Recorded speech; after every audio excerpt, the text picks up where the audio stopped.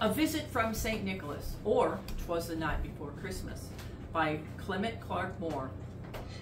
Twas the night before Christmas when all the house, not a creature was stirring, not even a mouse. The stockings were hung by the chimney with care, in hopes that St. Nicholas soon would be there. The children were nestled all snug in their beds, while visions of sugar plums danced in their heads.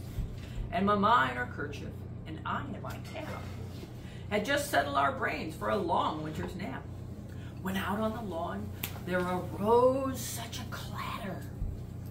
I sprang from my bed to see what was the matter.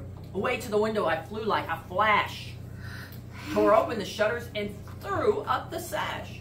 The moon on the breast of the new fallen snow gave a luster of midday to the objects below. When what to my wondering eyes did appear? But a miniature sleigh and eight tiny reindeer.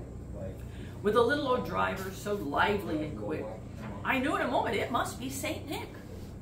More rapid than eagles, just coursers they came. He whistled and shouted and he called them by name. Now Dasher, now Dancer, now Prancer and Vixen. On Comet, on Cupid, on Donner and Blitzen. To the top of the porch, to the top of the wall, now dash away, dash away, dash away all. As leaves that before the wild hurricane fly, when they meet with an obstacle, mount to the sky. So up to the housetop the coursers they flew, with a sleigh full of toys, and St. Nicholas too. And then, in a twinkling, I heard on the roof the prancing and pawing of each little hoof. As I drew in my head and was turning around, down the chimney St. Nicholas came with a bound. He was dressed all in from his head to his foot, and his clothes were all tarnished with ashes and soot.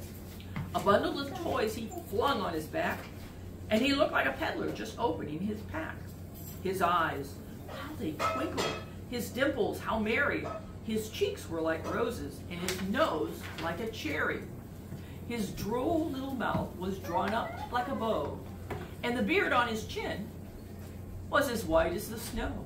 The stump of a pipe he held tight in his teeth, and the smoke, it encircled his head like a wreath. He had a broad face and a little round belly that shook when he laughed like a bowl full of jelly. He was chubby and plump, a right jolly old elf, and I laughed when I saw him, in spite of myself. A wink of his eye and a twist of his head soon gave me to know I had nothing. He spoke not a word, but went straight to his work and filled all the stockings, then turned with a jerk. And laying his finger aside of his nose and giving a nod, up the chimney he rose.